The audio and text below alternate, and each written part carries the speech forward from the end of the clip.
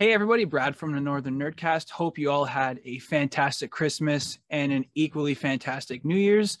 I just wanted to do a quick pickup video. I have not done one of these in quite some time.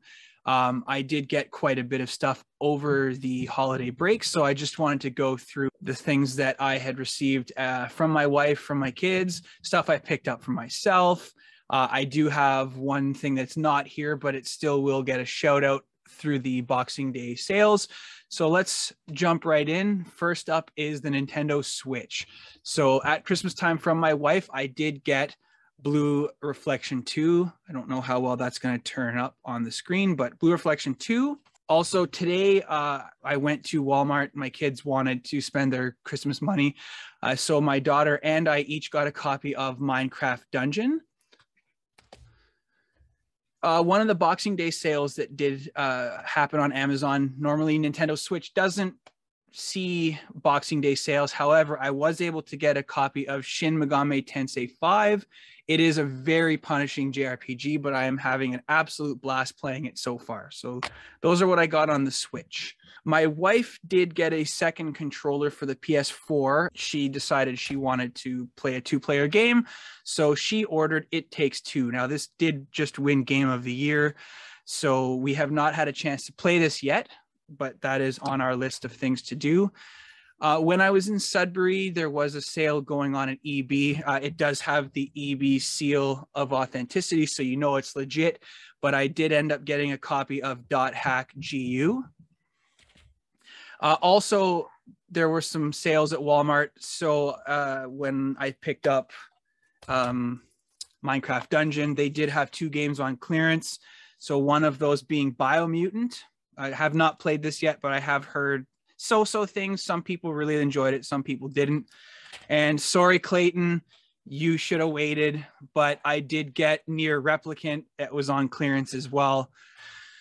Another game that was uh, given to me by my wife and daughter is Kena Bridge of Spirits. I had no idea this was an indie title, and it I played it so far. I haven't beaten it, but it is a phenomenal game. Uh, it's it is bare bones, but for a indie studio, it is a lot of fun. Also, from my wife uh, is The Last of Us Part Two. Now, I did get this when it was on PlayStation now for free.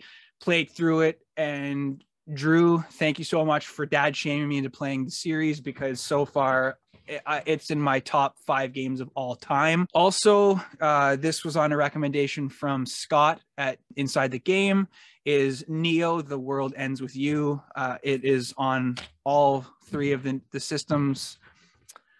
And then finally, on to the PS5 stuff. Um, again, this was another Christmas present from the kids.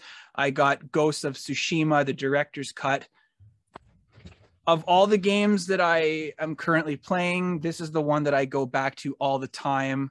Um, so, so, so good. It is so much fun. And last but not least, again, this is one of those types of games that is not for everybody. Um, it is a rogue style game. However, uh, I, am having a lot of fun with it. It is a PS5 exclusive, but that is Returnal by Housemarque uh, a PlayStation Studios title. Special shout out goes to Glenn Jones, aka Briefcase Guy, aka the legendary Glenn Jones. He got me a copy of Red Dead Redemption 2. Now it is not here yet. Uh, he was able to find it at EB. It was part of their Boxing Day sale, marked down from $79 to $19. So that was awesome. Glenn, thank you so much. And lastly, is another game that's not here, but I do have a copy of Astria Ascending coming from uh, Amazon. Thank you for watching. I hope again everybody had a phenomenal Christmas and a great New Year's. Uh, Northern Nerd Chat season two will be starting up soon. Uh, I'll make sure that Clayton and Adam are back in uh, not festive spirits, uh, not full of cheese. And we'll see you at season two of the Nerd Chats.